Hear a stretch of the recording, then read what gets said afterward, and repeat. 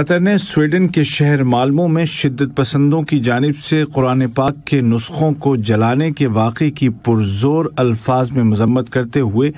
इस भयानक वाक़े को दुनिया के दो अरब से ज़्यादा मुसलमानों के जज्बात को भड़काने वाला खतरनाक अमल करार दिया है।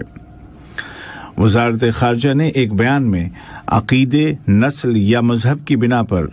हर तरह के नफरत अंगेज अकदाम को मुकम्मल तौर पर मुस्तरद करते हुए खबरदार किया है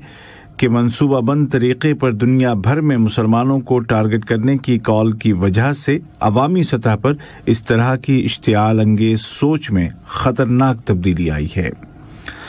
कतर ने इस हवाले से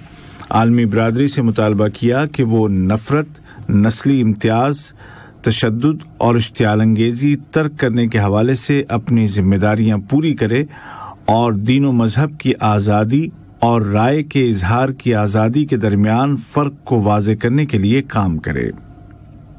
बयान में एक बार फिर कहा गया है कि कतर, रवादारी और मुश्तरका रहन सहन की रिवायात और अकदार की सपोर्ट करता है और दुनिया भर में सिक्योरिटी और सलामती के उसूलों को मज़बूत बनाने का ख्वाहिशमंद है।